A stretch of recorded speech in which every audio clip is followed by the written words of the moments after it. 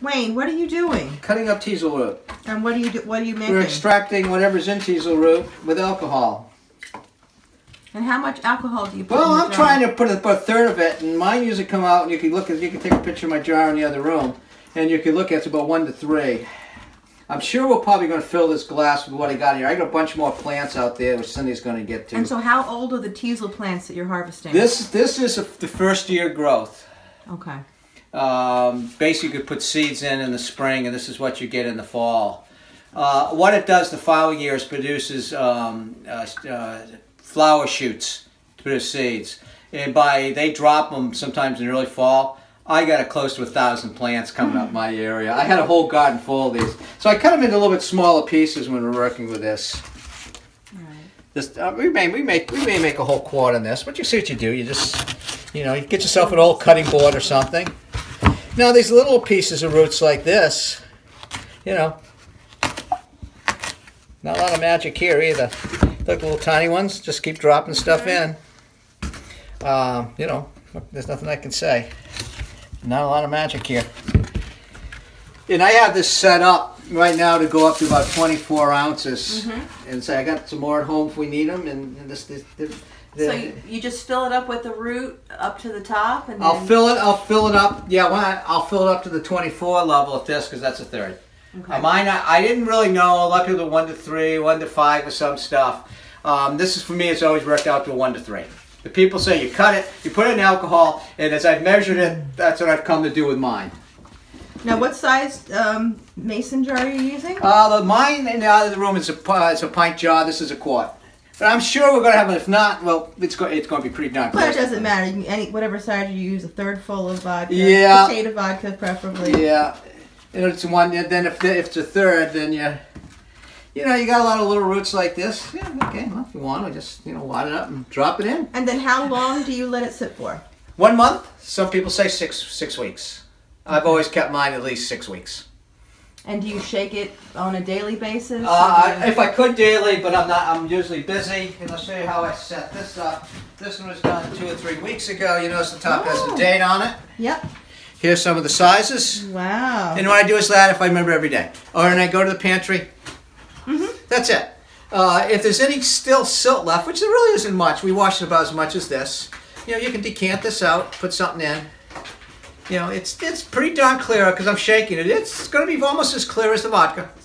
now what do you, now what is the teasel tincture used for? A lot of people use uh, for different extraneous viruses, particularly things like Lyme that get into the body. There's other things too. People use it for regeneration.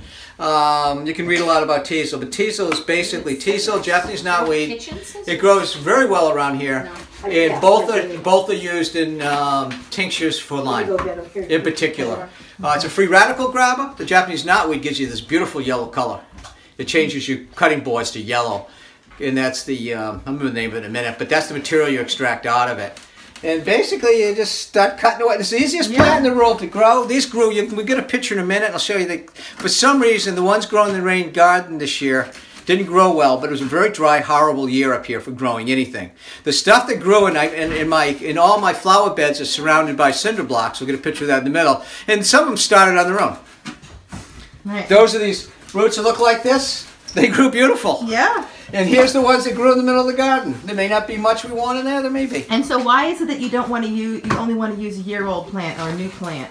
Well, the basically the roots have stopped producing. The following year, they produce flowers and they use their energy up. Maybe one of Okay. us can do the cutting. And they all of a sudden this can do the big, sharing. huge stock up. They're oh. just gorgeous. Honeybees, oh, pollinators. That's great. Unbelievable how well they like it. So it's a fun plant. All right, It's great so for we're gonna cut the bees. top. Yeah, you Yeah, cut we the love tops. It's, it's just a great plant.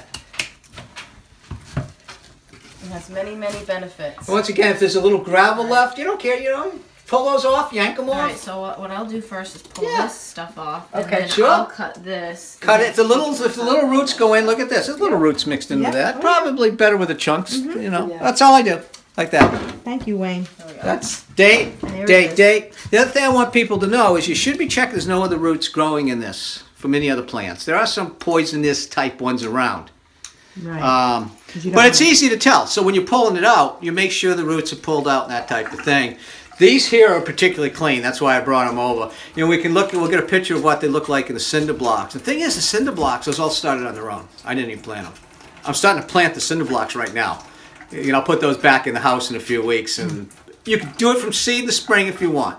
As I told somebody, I probably have a million seeds in my house right now because I put the, all the burrs on the top, hit them with a two by four, and all I see is this So white that- movement at the bottom. So anybody that wants seeds, they can oh. contact you. Oh. Yeah, we can start them in planters. It's the easiest, easiest plant in the world to grow. Yeah, yank the junk out. Yeah, yeah, you know, you see what you're doing. You- These grew by accident in Yeah. cinder blocks. Yeah, this this one grew up the year before. Look at that. So this is a two-year thing now. It drops seeds, and these are seeds from the spring.